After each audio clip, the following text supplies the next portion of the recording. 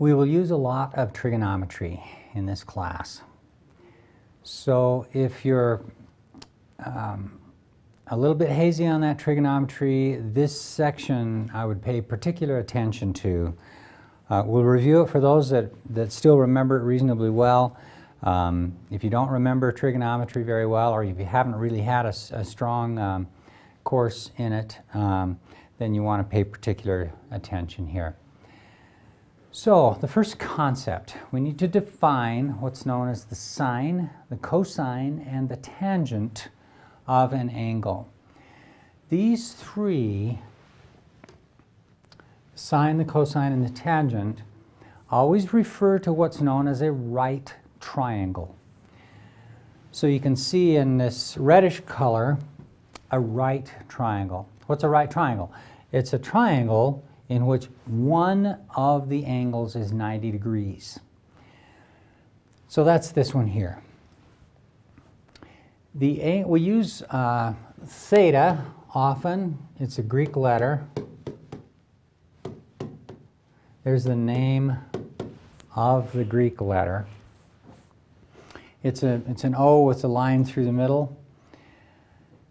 And normally we'll denote angles by, by, the, by the Greek letter theta.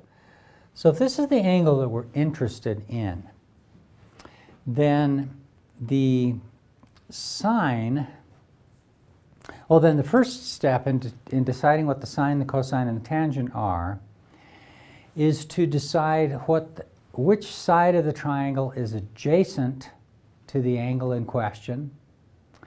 The answer to that question is this side here is adjacent to the angle. Which side of the triangle is opposite to that angle? And that's this side here. And that makes sense. This is the side that's adjacent to the angle. The angle is, is, is between this side and what's known as the hypotenuse. So uh, the side adjacent, the side opposite, and the hypotenuse.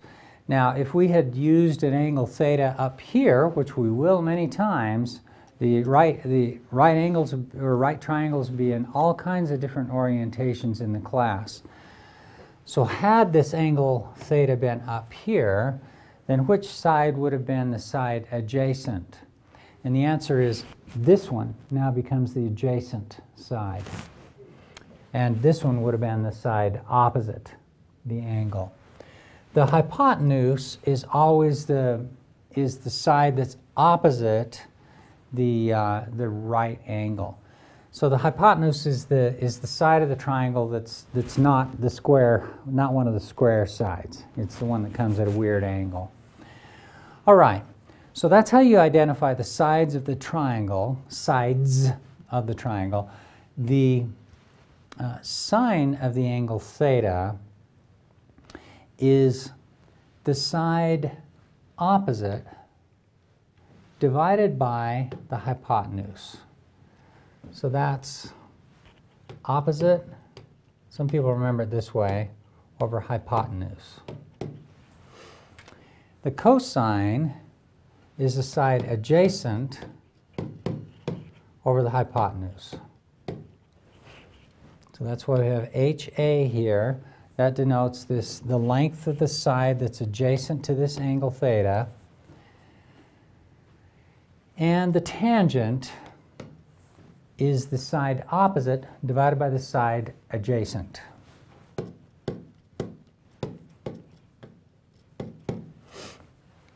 That's how you get the, the, uh, the tangent. Uh, some of you might have learned the SOHCAHTOA. Um, let's see if I can remember that acronym. I never learned it that way. Uh, the sine is the op the sine of the angle is the opposite over the hypotenuse. The cosine is the adjacent over the hypotenuse. That's cosine is adjacent over hypotenuse. And then, looks like I got it right, the tangent is the opposite over the adjacent. Opposite over adjacent. So ka toa, if that helps. Um, so the important thing here is that the choice of which side of the triangle to label as the opposite side, namely HO, and which to label as the adjacent side, namely HA, can be made only after the angle is identified. You have to, you have to say, okay, it's this angle here that I'm concerned about. So if that's the, the angle that I'm concerned about and not this one over here, and you never concerned about the 90 degree angle because you always everything, know everything about that. So if this is the angle that I'm interested in, then the side adjacent to that angle is this one right here because it's right next to it. That's the idea. For given angle theta, which of the following is equal to the ratio of sine theta over cosine theta? Well, let's look at that. Sine theta over cosine theta. The sine theta is the side opposite over the hypotenuse.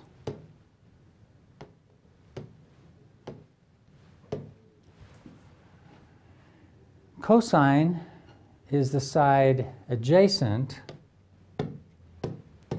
over the hypotenuse. And now we have an amazing cancellation because we have 1 over hypotenuse in the numerator and we have 1 over hypotenuse in the denominator. So these hypotenuses cancel each other and we just get HO over HA and that's therefore the opposite over the adjacent. That's a TOA. Tangent is opposite over adjacent. So this is actually equals to the tangent of theta. So uh, the arc cosine here and the inverse sine here, we will need those as well.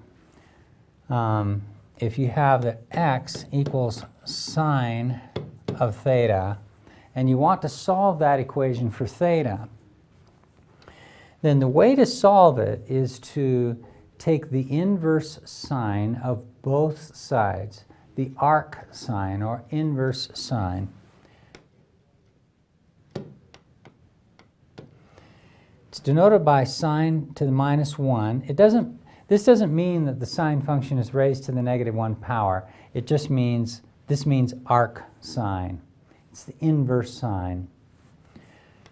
Equals the inverse sine of sine of theta.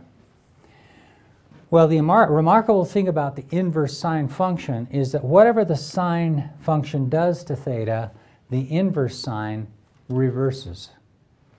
So the inverse sine of the sine of theta is just theta. And so theta, therefore, is the inverse sine of x if x equals sine theta, then theta can be found by taking the inverse sine of x.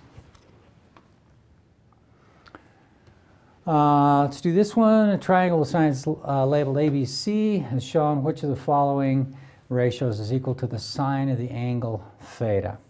All right, so this is a different triangle with the theta in a different spot.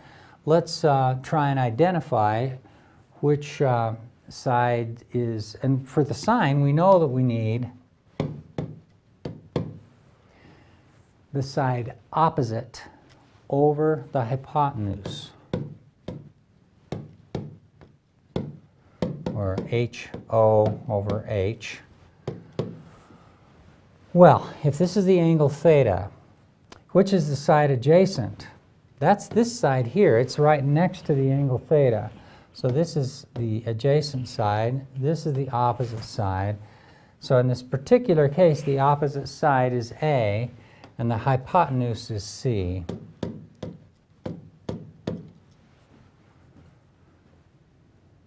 So A over C will be the sine of the angle, the opposite of the hypotenuse. Uh, let's do a, a, little more complicated example using trigonometric on a, on a sunny day, a tall building casts a shadow that is 67.2 meters long. Okay? The angle between the sun's rays and the ground is 50 degrees, which you could just kind of sight along using um, um, a protractor. So this angle is 50 degrees. Determine the height of the building. Well, pretty cool. We've got this, this uh, side of the triangle. We're interested in this side of the triangle. And we have this angle, theta, right here. So we want a trigonometric function that relates this side to this side. This side here is the side adjacent to the angle because it's right next to it, and this is the side opposite to the angle. So uh, the only trigonometric function that relates those two sides and doesn't involve the hypotenuse at all is the tangent. And here it is. Tangent is uh, side opposite over adjacent. There's the side opposite. Here's the side adjacent.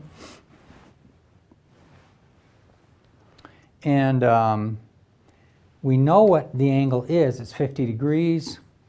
The side opposite, that's what we're looking for. That's the height of the building. And we've got the side adjacent, 67.2. So how are we going to solve that for HO? Well, I want to get HO by itself on the same side of the equation. So I'm going to multiply both sides of this equation by 67.2 meters.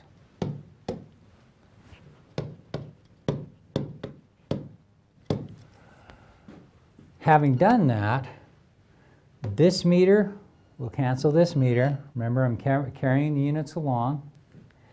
This 67.2 will cancel that 67.2.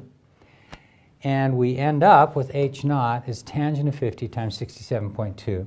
So you can then multiply, take the tangent on your calculator, make sure it's in degree mode, multiply that by 67.2, and then uh, you get an answer. You're carrying, remember, you're carrying this unit along with the calculation so that you know at the end of the day that you've got a height that's measured in meters, not in feet or in some other unit.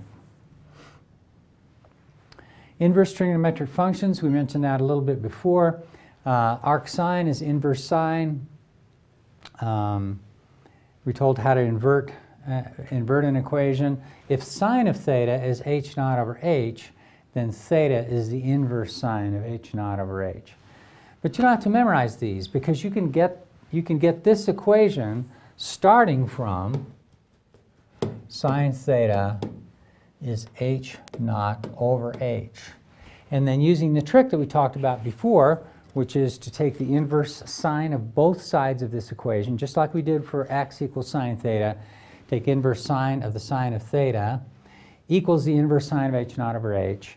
But the inverse sine of the sine of theta, whatever sine does, um, the inverse sine does just the opposite. And so we end up with theta is inverse sine h naught over h. That's this equation here. You can do the same with the cosine and the tangent, etc. Uh, let's do a, a problem in, involving the inverse trigonometric functions. A lakefront drops off gradually at an angle theta. At 14 meters out, so that's this distance here.